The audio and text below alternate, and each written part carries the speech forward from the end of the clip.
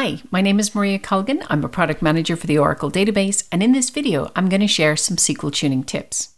Imagine we've got a new query that isn't using the index everybody was expecting it to, and you've been asked to find out why. Where do you start? First thing you're going to want to do is check out the SQL statement in question. And when we do that, we find it's a simple SQL statement accessing just one table, my sales, with two where clause predicates, one on the product ID and one on the customer ID. Let's take a look at the execution plan. The plan we're getting by default is an index range scan followed by a table access by row ID, and the cost of that plan is about 2500 the execution plan everybody was expecting is an index range scan without any access to the table, but that plan by default has a cost of nearly 10,000. So we're going to need more information from the database to work out why the cost of the plan everybody wants is so expensive. So what do we know about the My Sales table?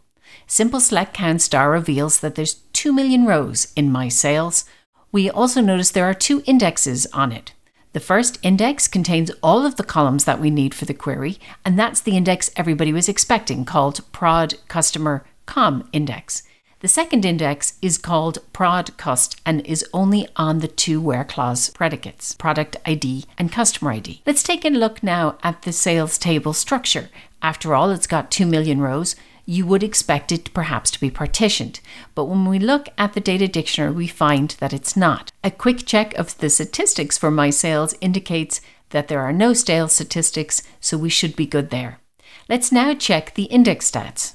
Both indexes also have stale stats marked as no, so we should have reasonable statistics. Let's take a look at what they actually are. We'll notice there's a high number of both leaf blocks and B levels for the index that we were expecting us to use, and so perhaps that's a clue about why the optimizer didn't pick it.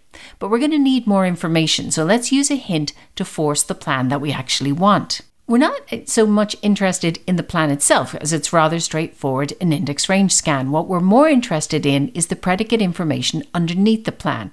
This shows how the where clause predicates are going to be used by the optimizer in that execution plan. You'll notice there that we have both an access predicate and a filter predicate listed, and the customer ID is listed as both access and filter predicate. This actually means that it's being used as a filter predicate and only the prod ID is being used as an access predicate. So, is that a good or a bad thing? In order to understand this more, we need to know exactly what it means to be an access versus a filter predicate.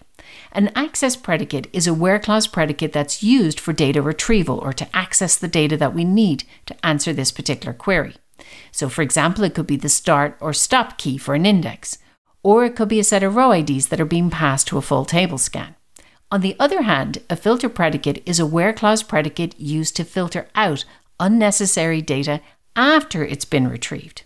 So in this example here, we'll actually do a full table scan on my users before applying the where clause predicate on username.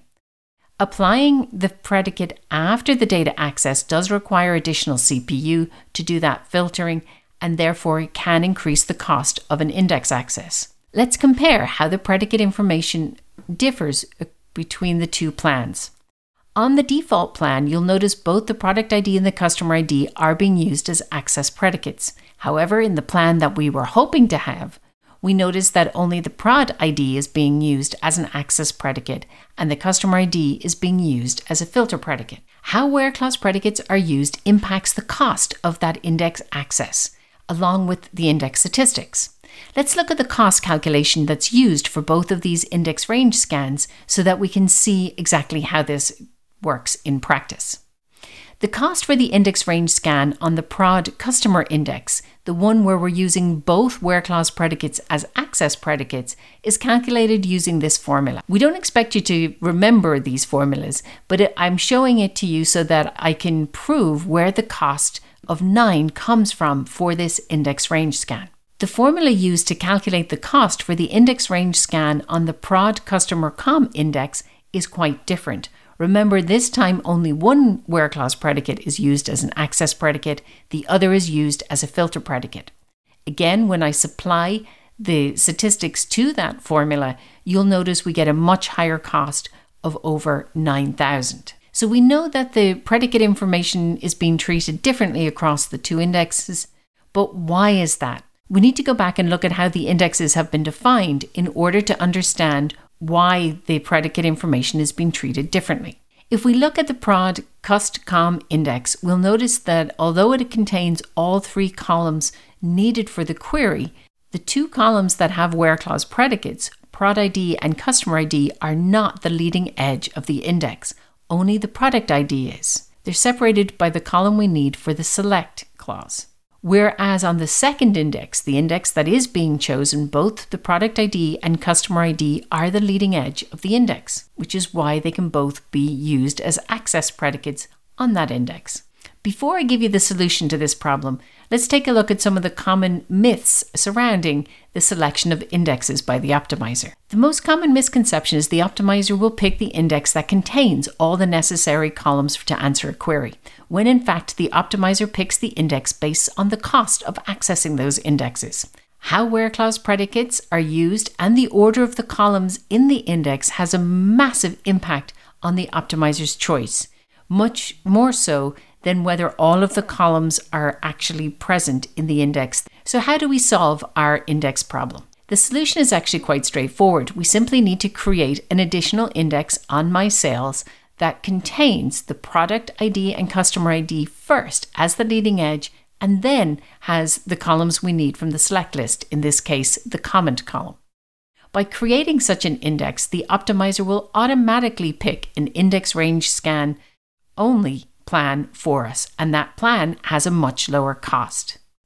Thanks for joining me today. You can get more information about SQL tuning and the optimizer on this YouTube channel or by checking out the optimizer blog at blogs.oracle.com, my blog at sqlmaria.com, or try your hand at actually doing some SQL tuning using our live labs or by looking at the Oracle documentation. Thanks for joining me today.